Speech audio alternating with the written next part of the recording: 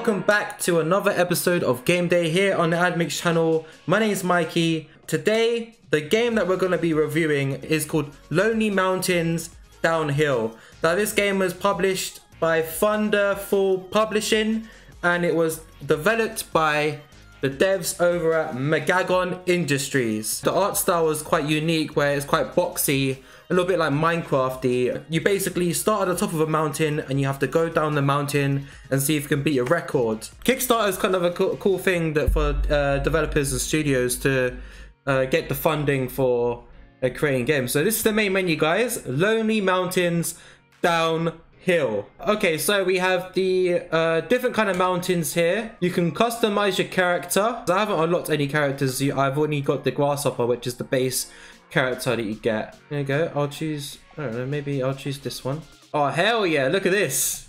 Let's jump into this trial again and see if I can beat my time records. Before you start, you can see there's seven laps that you need to checkpoints that you need to reach in a certain amount of time. If you complete the game, if you manage to get through the whole thing in three minutes, you unlock a custom outfit. I'm excited to play this. So you can speed up by holding the A button down. Oh, oh! You can use the brakes to kind of like drift around corners. Oh, that was terrible. Uh, let's restart that. You can kind of cheat the truck.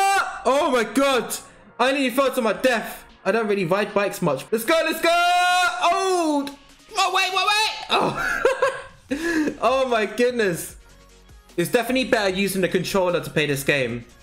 I wouldn't want to know what it feels like to play it with mouse and keyboard. It's more fluid and more flexible playing with a controller. I love the different camera angles to the game as well. How it pans out when you get when you get to certain parts. Oh my god. Dude, that turn is gnarly, bro. Yo, bro. That turn was gnarly, dude. I did it in three seconds less, guys. I did 252. Yes. So I unlocked our outfit, the cheetah outfit. Ooh. Oh, I'm looking fresh. So we're done Widow's Ravine. Let's try now the Wandering Woods. This looks mad. So every time you re you restart, you remember like, oh, okay, I know to slow down at that part of the level, that part of the run. I know to speed up at that part of the run. You've been training for this all your life. Come on, man. Everything just looks like it fits well. You get most of these realistic kind of like racing or biker games and they put so much effort into making everything look quite realistic but you can make a game look as simple as this and still as effective. So that's Lonely Mountains Downhill guys. I had so much fun playing this game genuinely like I haven't played a biking game or a downhill biking game in quite some time. The, I think the last kind of like bike game or motorbike game that I played was Trials even if this game had like a multiplayer function, I know they have the leaderboard, but if you can get you and your buddy or your or your friend to jump in and try and like complete the downhill challenge the fastest, uh, if it's like a split screen mode, that would be really cool actually. The customization, adding the new uh, hairstyles, the color to your bikes, unlocking different bikes. I suppose if you unlock different bikes, it gives you different stats. So you're able to brake faster, you have longer boost stuff like that, which um, adds these kind of games and gives it a more um, functionality and able to players to come back and beat their time records. Having the exploration level to play with to begin with when you start the level, and then being able to go back into level and see if you can com complete each checkpoint in the fastest time, and giving the the player challenges to complete, like not uh, falling down or um, getting hit 20 times, uh, completing it in the fastest amount to unlock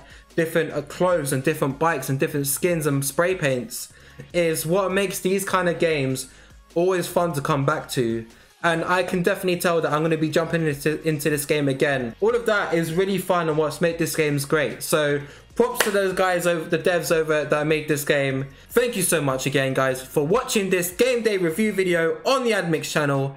If you liked it, please subscribe as always. Click the like button and the bell notification to be notified when all of our next reviews and all of our episodes come out. If you like this channel and you like this content, follow our social platforms there, there, and there for you guys to be able to keep up to date with everything AdMix. And I'll catch you lots on your bikes in the next video. I'm gonna pedal out here. what am I doing? And sweet!